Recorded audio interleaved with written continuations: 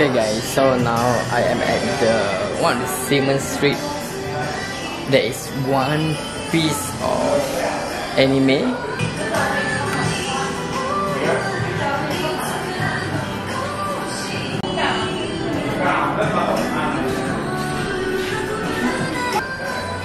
And you can see a lot of varieties of dolls and I'm a One Piece fan, so it's really nice to see all the items that they have.